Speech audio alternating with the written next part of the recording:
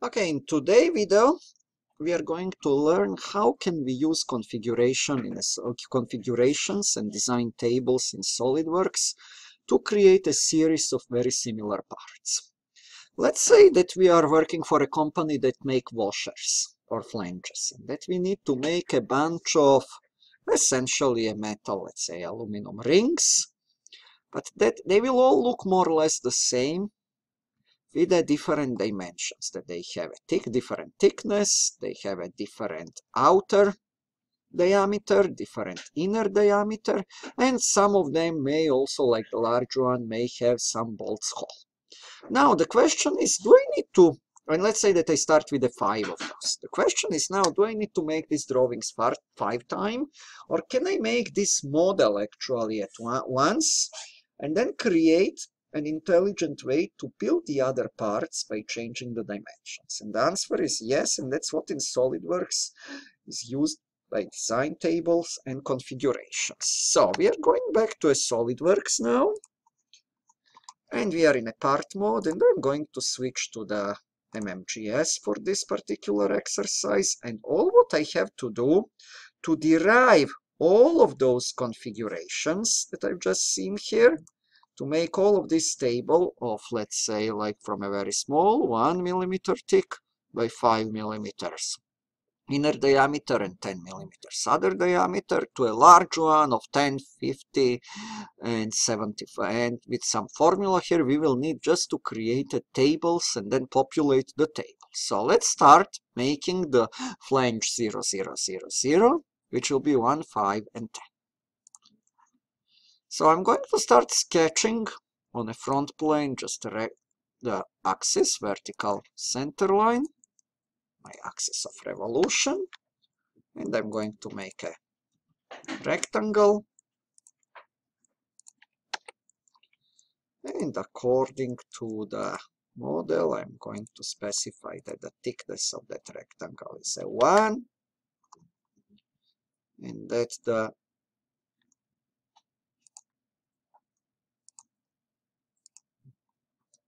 inner diameter according to the model is that's number B that's b that's 5 millimeters. And that the outer diameter according to the model is a 10 millimeters.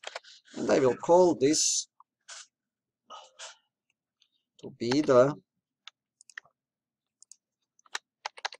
I'm going to make this 2 to be the these two points should be called horizontal.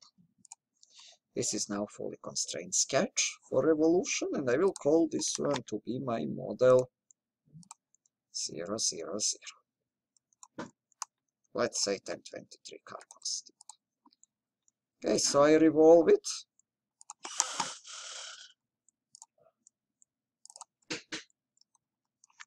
And here is my first model of the washer.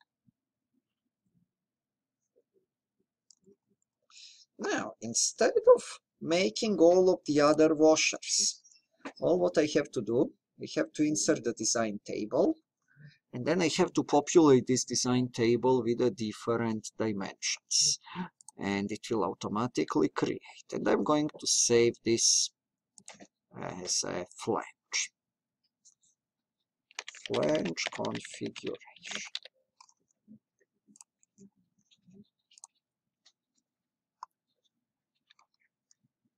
Start generating configuration, we will go into the tables, and the tables will be under Insert Table.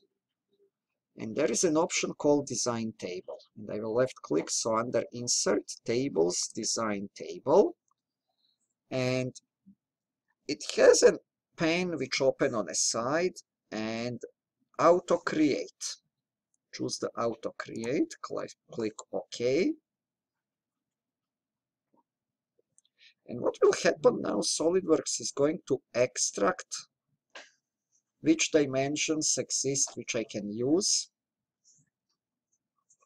to get the to get the this populated. So I will use the dimension 1, dimension 2, and dimension 3 because D1 at revolve is just angular dimension of 360. So I will choose those three dimensions and click OK.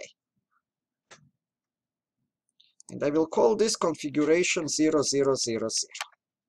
Now I have a configuration 0001.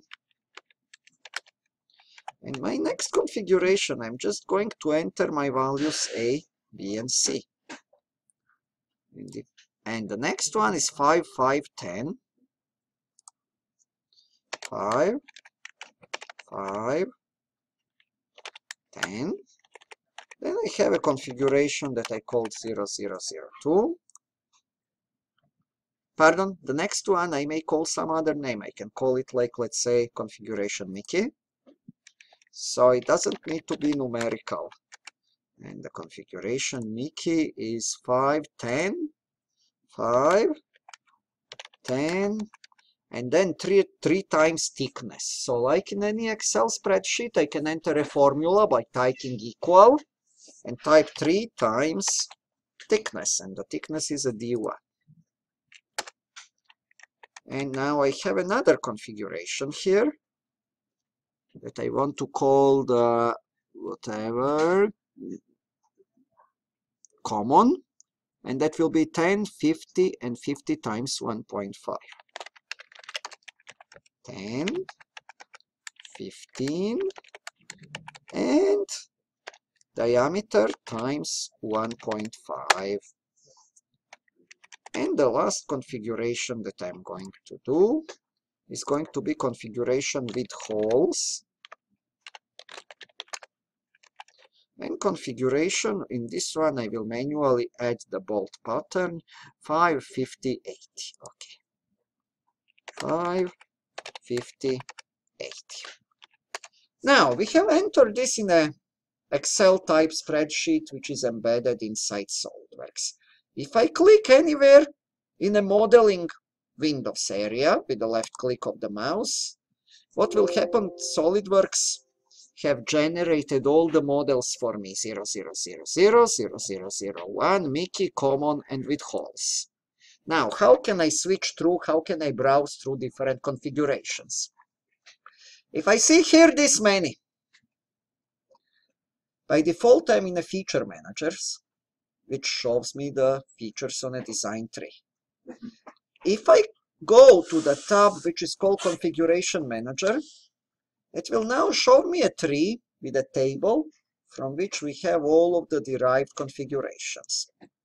And let me click that I want to see, let's say configuration 0001. I just right click on it and see show the tree item. It will pardon. Just double click on it and here is that configuration common, which was very thick. Here is my configuration 0001. Here is configuration Mickey. And here is configuration with holes. Now, if I want to modify the configuration with holes, all what I will need to do, I will need to make inside this configuration the holes and I will place a hole wizard. And let's see where is my hole wizard? Is here. And I'm going to make the standard hole and that holes according to the specification will be 5 millimeters thick from the unsymmetric. And that will be a hole of 5.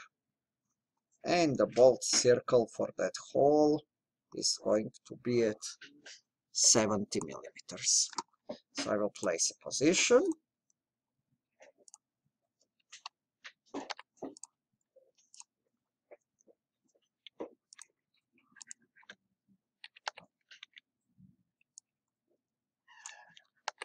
Vertical from the center, from the coordinate origin. And I'm going to place that this is at the diameter 70, what means 35. And the two items should be vertical.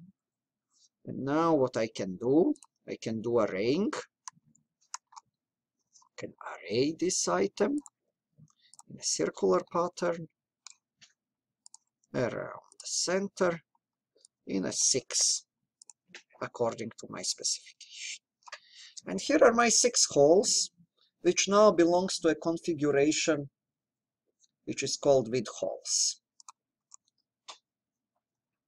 And if I go to that particular feature, change the scope of this feature to be just the inside one configuration or to be a global.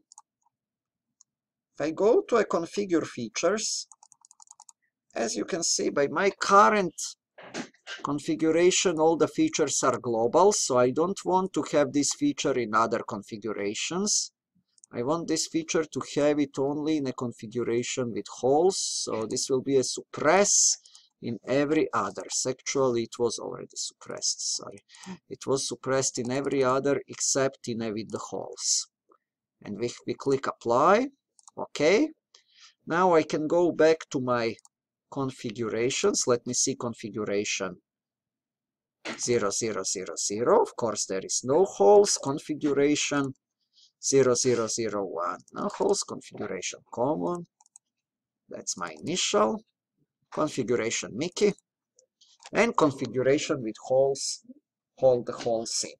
So essentially, we only have to drill to make one single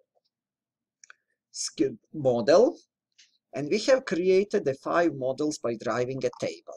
We can always go back to the table by clicking on it, opening that design table, right click, edit table. Here is our edit table.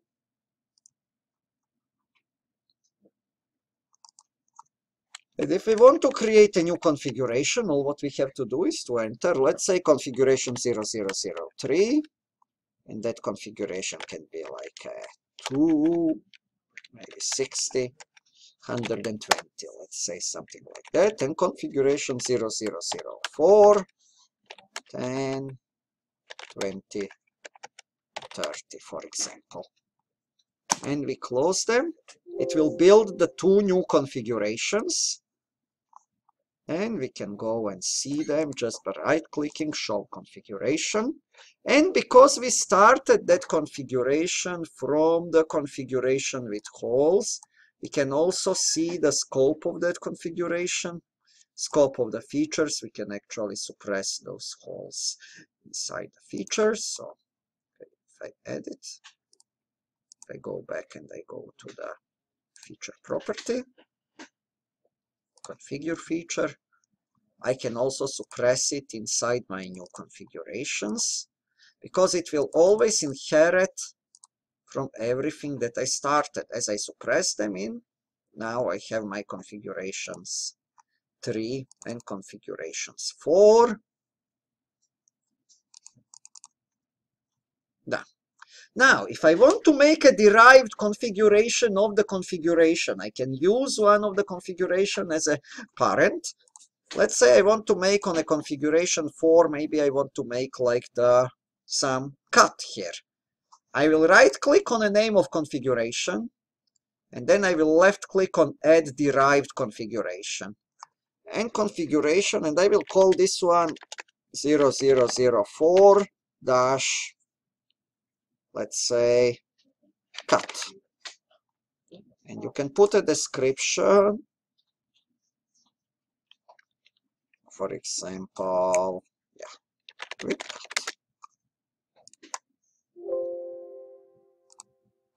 now what I have to do that particular configuration if I open it you can see that it look like a directory and I do have this new item here and if I make, let's say, if I make something just as an example,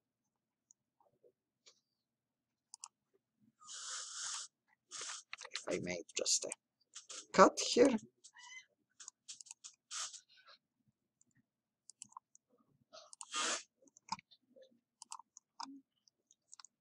I can again manage that particular extrude by right clicking on it and click left click on configure features.